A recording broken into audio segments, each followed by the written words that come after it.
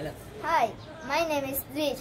I study in 4th standard. My school name is Rakshar School. I love my school because my school always makes us busy in different activities.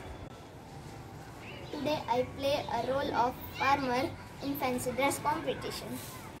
Let's come with me at my farm. आइए मेरे खेत में आपका स्वागत है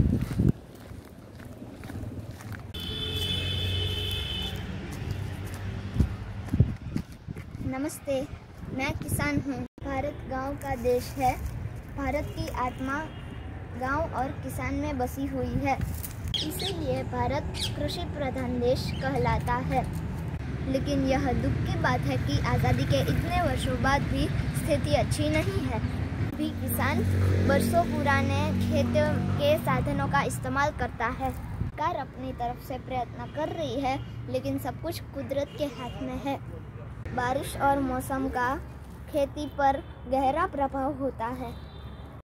मैं यहाँ मेरे खेत में दिन भर मेहनत करता हूँ और इसीलिए मैं जगत का तात कहलाता हूँ। जय जवान, जय किसान।